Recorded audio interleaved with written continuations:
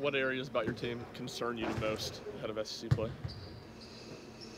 Uh, consistency, probably. Uh, just the fact that uh, we'll continue to improve.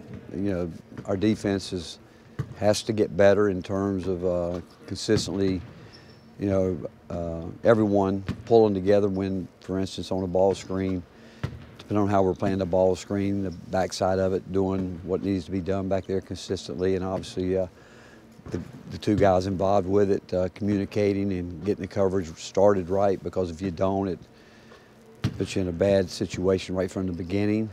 But uh, that, and then offensively, uh, execution and uh, discipline when we uh, call something that we execute it and and when a guy's open that's what the play calls for he shoots the ball as opposed to trying to break it off and do something that uh, he shouldn't be doing.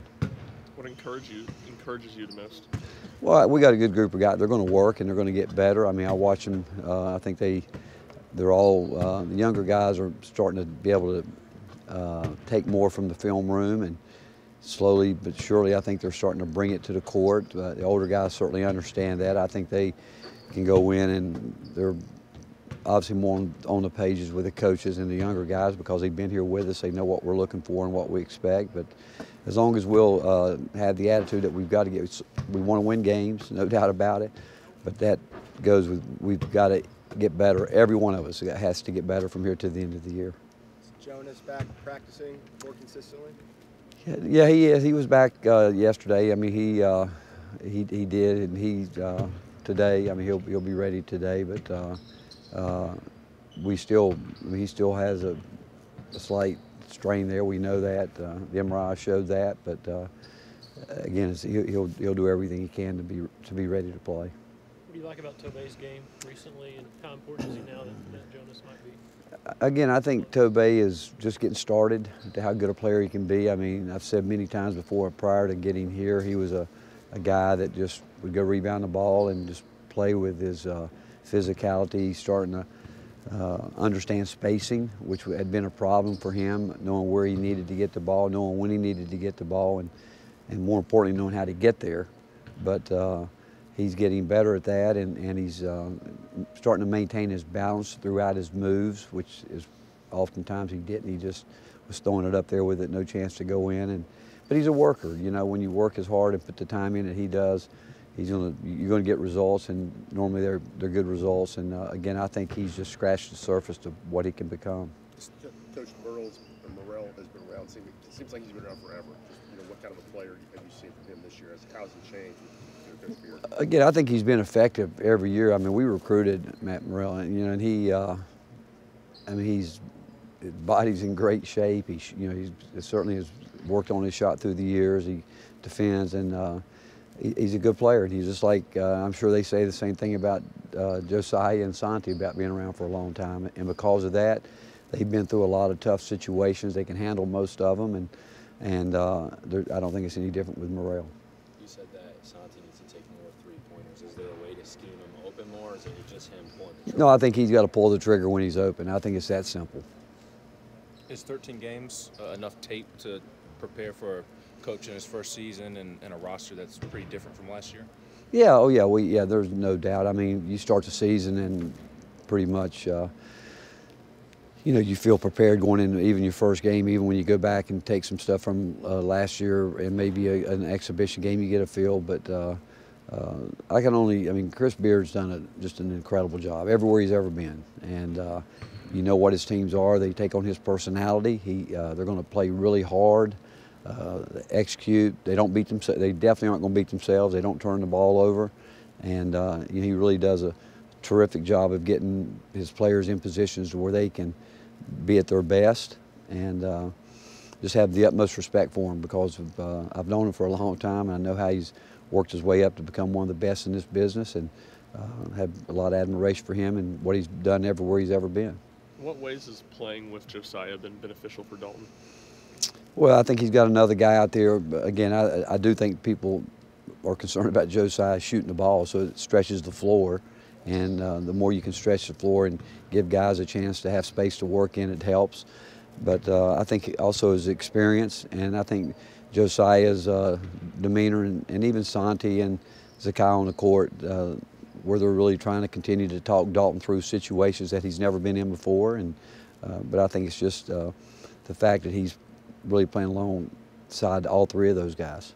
What do you like about what JP gave you the other night? Are you starting to get an idea of what you're going to get from him more routinely? Well, what surprised me, what he the minutes he, he put in. I, I, I didn't think he could stay out there that long and, and be effective. And you know, he ran the court. He, he really started, again, like Tobe, starting to understand space on the floor, where he needs to be. But uh, we we felt from day one, once he decides in his mind and and uh, matures and realizes this is this is not. Uh, you know what can I say? No, It's, it's, it's serious. It's serious, and he's got to be serious every minute he's out there on the court to get better and understand how hard it is. It's hard. It's hard to play this game the right way, and uh, and uh, and it goes back to how much you're willing to put into it. And in his in his situation all year uh, would be you know the cardio, toughness. You know being able to play when you're tired, fight through it. That's where he's gotten so much better in the last really three weeks, where he's being able to, uh, and, I, and I think some of us listening, to be quite honest, you know, we're understanding the importance of how you uh, escort escort your man to a ball screen, and you got to be there. And if you're a step slow getting started, you're going to be playing three steps behind. And it's just those little detail things that I don't think he had ever thought much about. And uh, but he's starting to figure out the the details are the most important thing. And and if he'll continue to do that, and he's a guy that we think can score too. If he'll get in there and get his space, we, we know we, we can get him the ball. He can he can do something with it.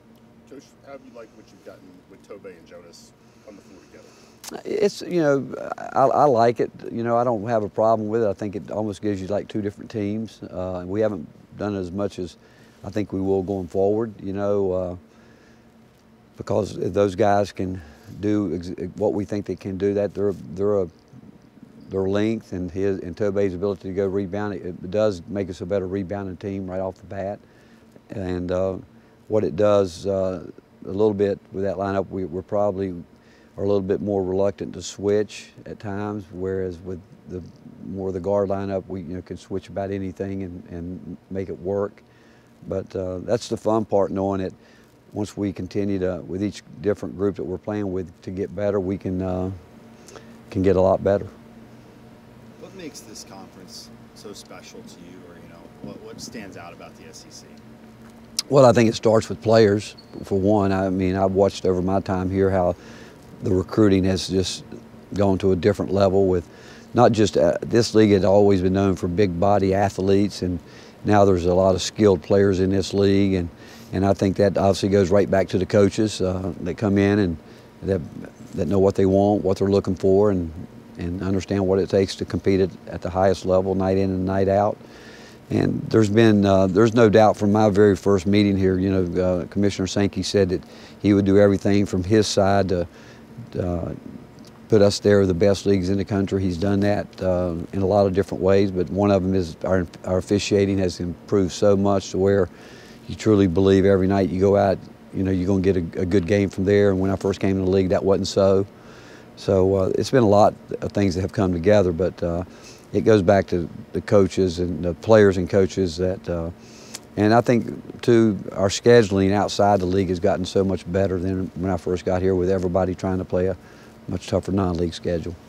What's kind of the decision to put Jordan Gainey more in the point guard position and not Jahmai as much?